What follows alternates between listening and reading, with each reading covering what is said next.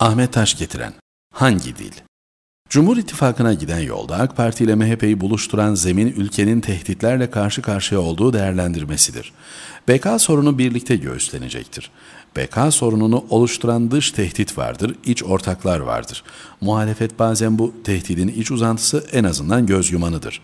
Siyasi ittifak vatandaşı bu eksende iç dış tehlikelere karşı birlikte hareket etmeye çağırmayı hedefler. İttifaka zemin hazırlayan yaklaşımın hem AK Parti içinde hem de MHP'de bir toplumsal karşılığı vardır. Bu karşılığın oranı nedir? Belli ki MHP'de daha yüksektir. Bunu Bahçeli'nin ittifaka sahip çıkarkenki heyecan dozunda gözlemlemek mümkün. Grup konuşmasına salonun verdiği coşkulu karşılık da MHP kitlesinin ittifak konusunda heyecansız olmadığını gösteriyor. AK Parti cenahına gelince orada ittifaka ihtiyaç var iktidar kaybını büyük risk olarak okuyan bir toplumsal kesimde mevcut. Oradan bakınca ittifak can simidi gibi görünüyor. Bu yüzden de ittifaka götüren değerlendirme ve onun ürettiği dil satın alınıyor. Ancak AK Parti oylarında ideolojik aidiyet diye tanımlanabilecek bu çevre dışında hizmeti önemseyerek destek veren toplum kesiminin de önemli yer tuttuğu söylenebilir. Bunlar geçişli oylardır. Yüzer gezer oy tanımlaması da bu toplum kesimleri içindir. Partiler bu toplum kesiminin farkındadır ve siyasi akış içinde bir kere iletişim sağladıkları yüzer gezer alandaki insanları kalıcı hale getirmek isterler. Yani geçişli olmaktan çıkarıp kalıcı hale getirme amacındadırlar. Sorun sadece iktidar partisinin sorunu değildir. Muhalefet için de aynı durum söz konusudur. Mesela CHP'nin bir ideolojik aidiyetli oy tabanı mevcuttur. Ancak bir şekilde ortak paydalar üretip bu ideolojik tabanın ötesine geçmeye çalışmaktadır.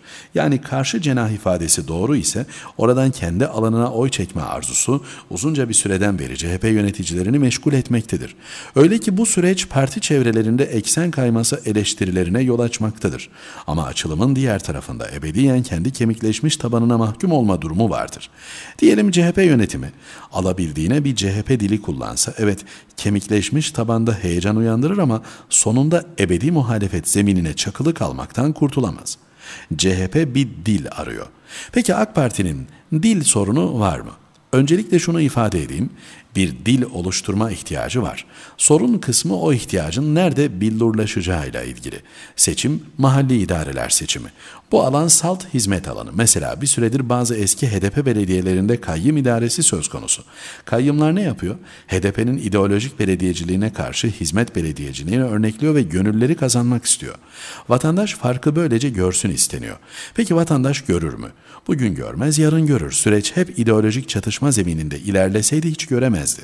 Yerel seçim ufukta göründüğünden beri Cumhurbaşkanı Erdoğan AK Parti Genel Başkanı olarak bir, bu seçimleri kazanmak gerektiğinin altını çiziyor, iki, yeni bir yerel yönetim dili oluşturmaya çalışıyor. Bir oy sıkıntısı var bu belli. O sıkıntının bir kısmı MHP desteğiyle kapatılacak. İttifak dili, ideolojik bir dil. Yerel yönetim dilinde ise gönül belediyeciliği yaklaşımı dolaşıyor. Acaba önümüzdeki süreçte hangi dil öne çıkacak? Bence burada hangi dil muhalefetin işine yarar sorusunun cevabının aranmasında yarar var. AK Parti'nin ilan ettiği adaylara baktım. Hizmet insanın profilinin öne çıktığı izlenime edindim. Diyelim Mehmet Özhaseki, diyelim Binali Yıldırım. Bunlar evet AK Partili, AK Parti'de sorumluluk üstlenmiş ama toplumun her kesimiyle ortak payda oluşturabilecek simalar. Geçen seçim İzmir'e Binali Yıldırım konmuştu. Bu seçimde Nihat Zeybekçi kondu. Bu tercihlerde gözetilen de iletişim kurulabilir isimler olmalı. AK Parti'nin şehirlere hizmet adına söyleyeceği çok şey var. Genel kampanya dilinde zaten başka yere gitmesi söz konusu olmayan tabii taban yerine tüm toplumu kuşatacak bir dil oluşturulması iç barış açısından da büyük önem taşıyor ittifak dilinin bir panik dili haline gelmesi Cumhur'un alanını daraltmaktan öte sonuç vermez. Türkiye'yi yöneten kadronun bunu isteyeceğini sanmıyorum. Ahmet Taş getiren karar.